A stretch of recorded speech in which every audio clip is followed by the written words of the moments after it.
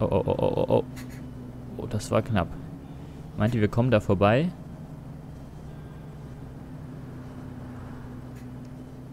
Ja, aber ihr seht, es ist extrem knapp. Auch links, also es ist wirklich hier extrem knapp, wenn man da durchfährt.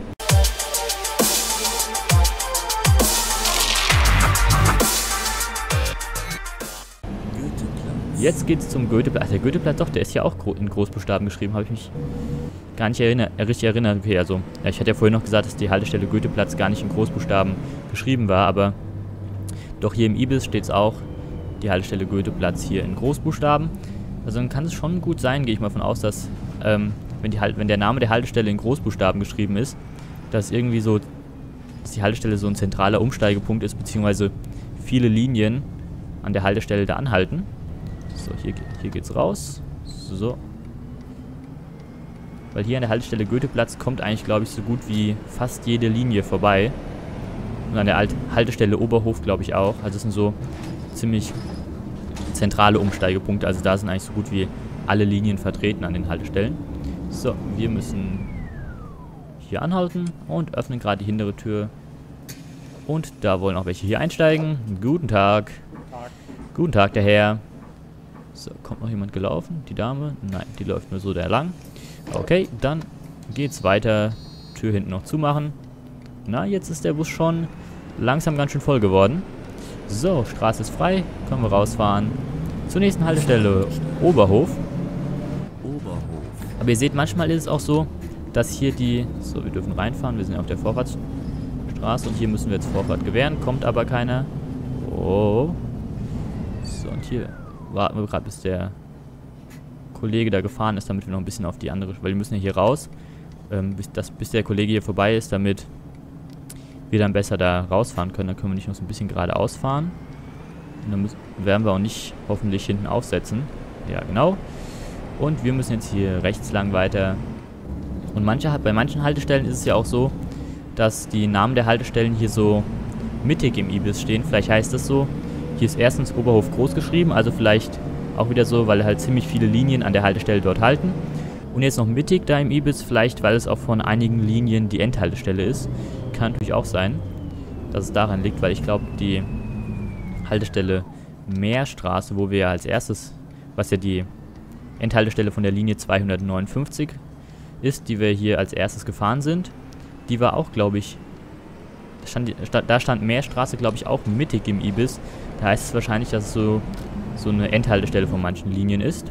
So, hier hält zwei, die 255 und 257 und hier halten wir jetzt an. So, da wären wir.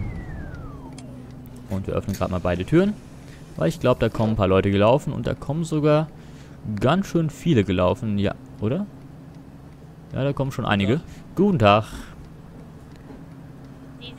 Hallo. Ja, ja, ja, Mecker, Mecker, alles gut.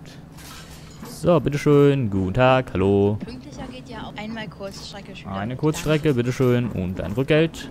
Hallo. Aber das sind schon einige, die jetzt hier einsteigen. Guten Tag, hallo. Guten Tag, die Dame.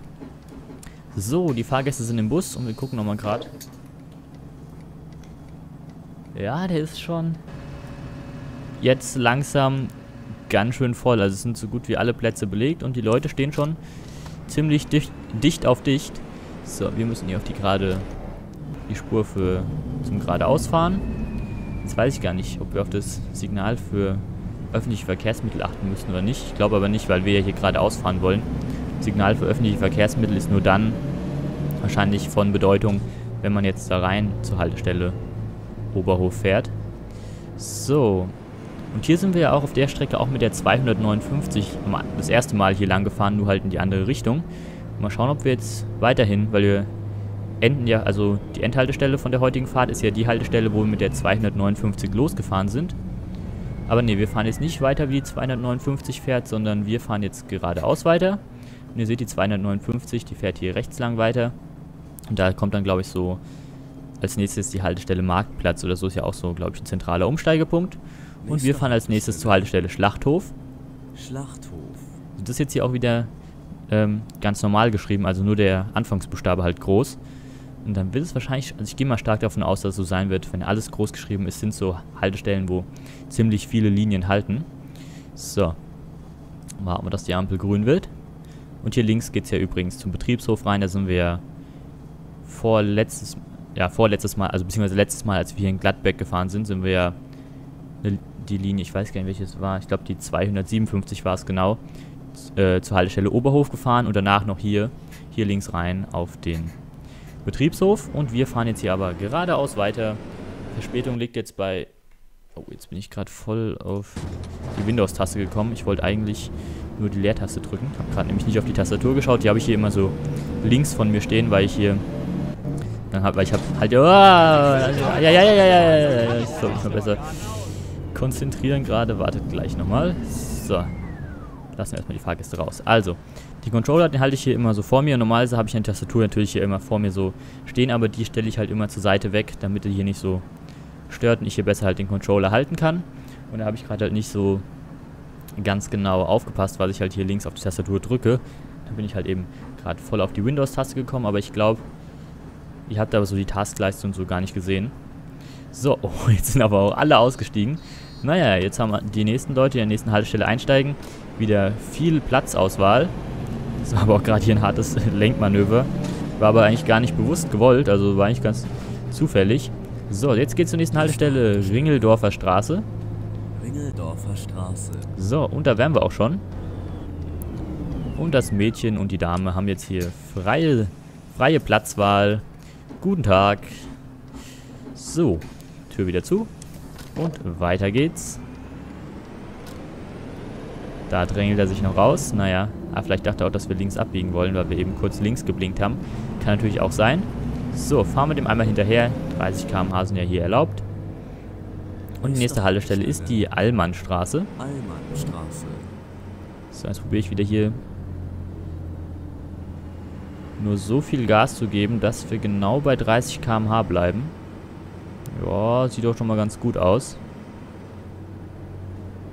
Also 33 km/h könnten wir fahren, wenn wir geblitzt werden würden, weil abzüglich Toleranz würde es ja dann, glaube ich, genau 30 km/h geben. Also ich glaube, da wird immer, ich weiß nicht in welchen Fällen, aber ich glaube, in den meisten Fällen wird immer so 10% Gerätetoleranz oder wie man es nennt, abgezogen. Das heißt, 33, also wenn man 30 km/h fahren würde, 10% davon wären ja 3 km/h. Also könnte man sozusagen 33 km/h fahren. Das heißt, wenn man dann geblitzt werden würde, würde es sozusagen, glaube ich, gar nichts ausmachen. So, und der Kollege will dann da vorne gleich rechts abbiegen. Oder hä, wie hat jetzt gerade geblinkt? Keine Ahnung. Okay, da vorne ist die nächste Haltestelle, die Allmannstraße. Und blinken wir schon mal und halten an. So, da wären wir. Und wir öffnen gerade die vorderste Tür.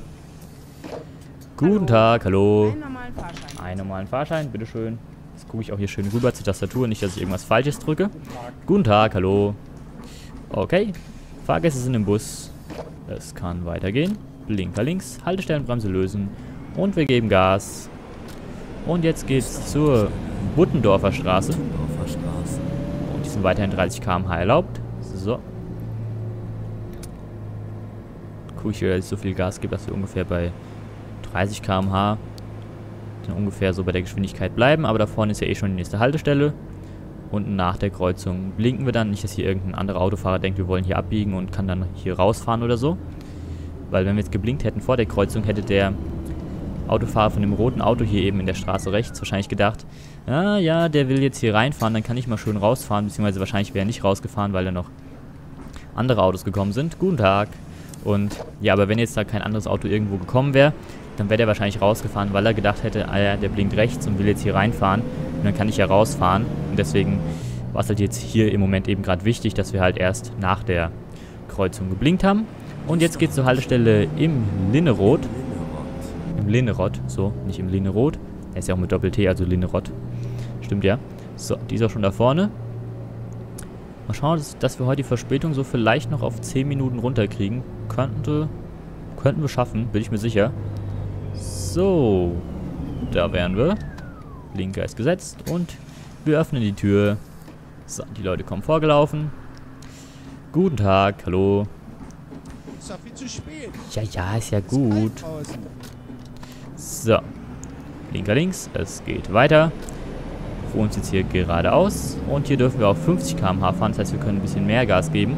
Aber jetzt parken die Autos hier auf der auf unserer, auf unserer Seite. Davor haben sie eben auf der anderen, auf der Seite von der anderen Spur geparkt. Und hier müssen wir jetzt immer gucken, dass wir keinen Gegenverkehr haben. Und dann hier ausweichen können auf die andere Straßenseite, um hier die parkenden Autos zu umfahren. So, müssen wir auch gucken, warten, bis der Gegenverkehr durch ist. Wir würden zwar da knapp durchpassen, glaube ich, aber das ist mir dann doch zu eng. So, jetzt. Das ist, glaube ich, ganz schön eng, wenn wir da jetzt gefahren wären, wo der Gegenverkehr gekommen ist. So, ich hoffe, der Kollege hält da vorne an.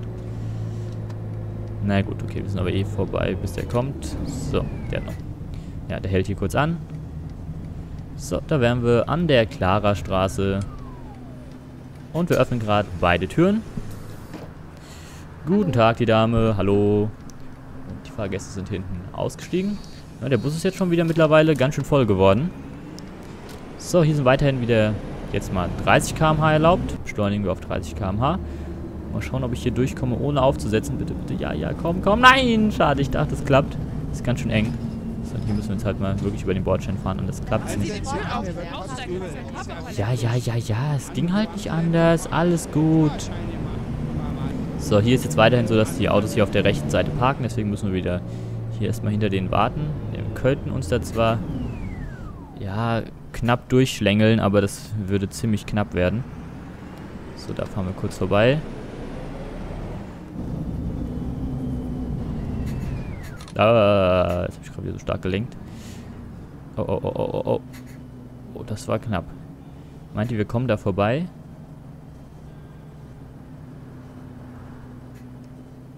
Ja, aber ihr seht, es ist extrem knapp.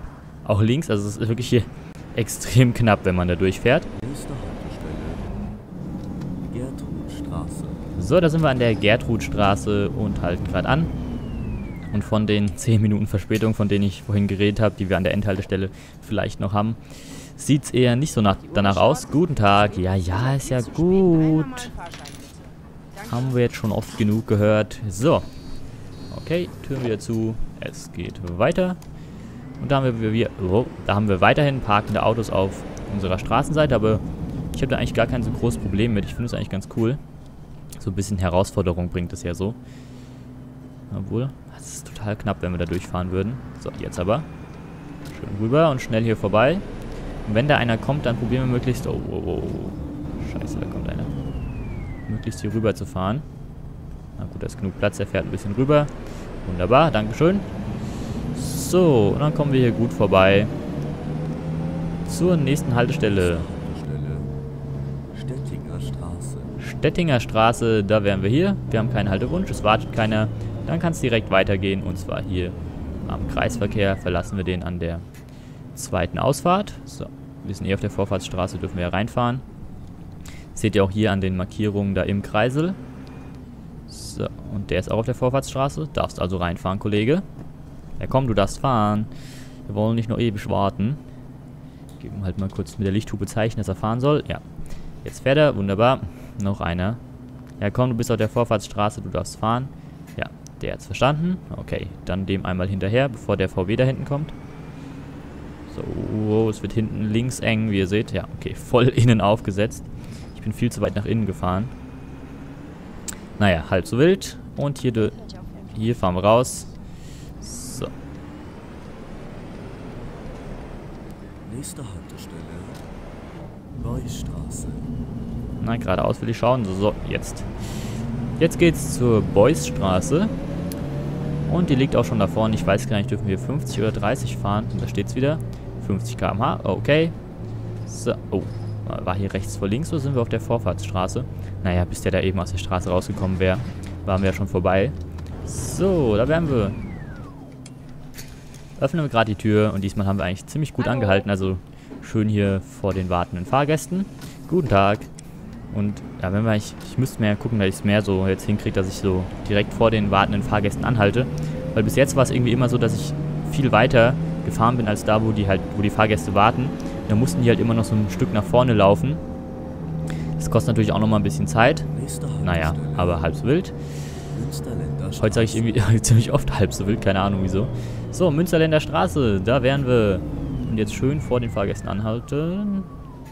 So, wunderbar. Hier wartet nur die Frau auf uns. Guten Tag, hier seht ihr auch wieder, warten auch wieder, halten auch wieder ein paar mehr Linien. Und die, der Name der Haltestelle ist auch hier wieder komplett in Großbuchstaben geschrieben. Also ich bin jetzt mal, ich gehe jetzt mal ziemlich stark davon aus, dass wenn der Name der Linie, ja nicht der Name der Linie, sondern der Name der Haltestelle in Großbuchstaben geschrieben ist, dann wird es eine Haltestelle sein, wo mehrere Linien, also keine Ahnung, wie viele äh, minimal da anhalten müssen, damit es in Großbuchstaben geschrieben ist. Aber auf jeden Fall nicht nur eine oder zwei, glaube ich, da anhalten, sondern mindestens drei oder, oder so, keine Ahnung. So, jetzt geht's zur nächsten Haltestelle. Hunsrückstraße und da vorne an der Kreuzung, wenn wir jetzt die 259 gefahren wären, die wir ja damals als erstes hier gefahren sind, dann wären wir da in dem Fall links abgebogen. Und hier sind wir an der Hunsrückstraße und hier seht ihr, warten halten hier auch drei verschiedene Linien. Und da gehe ich mal wirklich stark davon aus, dass mindestens drei Linien an der Haltestelle anhalten müssen, damit der Name der Haltestelle... Guten Tag, hallo. Eine Kurzstrecke bitte. Eine Kurzstrecke, bitteschön. Dankeschön. Damit der Name der... Ja, falsche Taste. So, jetzt die vorderste Tür zu. Damit der, also mindestens drei Linien müssen an der Haltestelle halten, damit ähm, der Name der Haltestelle auch im Ibis groß geschrieben ist. Und jetzt geht's zur Reichenbergstraße. Reichenberger Straße. Ne, Reichenberger Straße. So nicht Reichenbergstraße, sondern Reichenberger Straße. So, hier geht's geradeaus weiter. 50 km/h sind ja erlaubt. Kann man noch ein bisschen Gas geben. Jetzt probiere ich wieder genau so viel Gas zu geben, dass wir bei 50 km/h bleiben. Beziehungsweise ist eh die nächste Haltestelle. Wartet aber keiner. Können wir durchfahren. Und jetzt geht's zur Haltestelle Kärntener Ring. Und das war doch auch eigentlich eine Haltestelle, wo wir, glaube ich, ja, hier kann ich mich noch erinnern, hier waren wir, genau, hier sind wir auch am Anfang mit der 259 vorbeigekommen. Und hier müssen wir jetzt aber auf der rechten Seite anhalten. Da haben wir da, wo die Straßenbahngleise sind, damals mit der 259 angehalten. Und dann sind wir jetzt auch gleich, glaube ich schon, an der Endhaltestelle angekommen. So, kommen Sie rein, die Herren. Hallo. Guten Tag, hallo. Ja, Guten heute. Tag. So. Gucken wir, dass die Leute ausgestiegen sind. Jo, sind sie. Blinker links. Es geht weiter. Und jetzt... Nächste Haltestelle. Gelsenkirchen, Burer Straße. Genau, Gelsenkirchen, Burer Straße. Da geht es jetzt hin zur Endhaltestelle der heutigen Linienfahrt. So, beschleunigen wir nochmal. Und ich glaube, die liegt auch schon direkt nach dem Anstieg hier. Ja, genau. Da unten müssen wir dann rechts rein und da sind dann die ganzen Haltestellen bzw. Haltepositionen von den wo die verschiedenen Linien am Ende anhalten. So, schön hier rum. Ja, das klappt doch ganz gut. Bis auf heute ein paar starke Einlenker an manchen Stellen. Ist die heutige Fahrt eigentlich auch ganz gut verlaufen. Bin ja eigentlich ziemlich zufrieden damit. So, da werden wir nochmal hier rechts abbiegen und dann schauen wir, an welcher Position wir da anhalten müssen. So, hier schön rein. So, und dann gucken wir mal hier nicht. Es sind die 253 und 259, die halten hier. Und wir halten hier an, hier an die 252 und 258, die wir, die wir ja heute fahren. Da wären wir an der Endhaltestelle. Dann, ja, ist da die Fahrplanauswertung. Wunderbar. Und dann war es auch wieder eine wirklich ziemlich gute Fahrt, wie ich finde. Ich hoffe, der Teil hat euch gefallen. Die Fahrt hat euch hoffentlich auch wieder gefallen. Und dann nächstes Mal sind wir dann wieder in Wankendorf unterwegs. Und dann jetzt weiterhin so ein bisschen abwechselnd Wankendorf-Gladbeck, Wankendorf-Gladbeck, wie ich es euch ja schon vor einiger Zeit erzählt habe. Und dann, ja, war es auch schon wieder von diesem Teil von Let's Play OMSI 2. Ich hoffe, er hat euch gefallen. Danke fürs Zuschauen. Bis zum nächsten Mal. Haut rein, euer Leingamer 1. Ciao.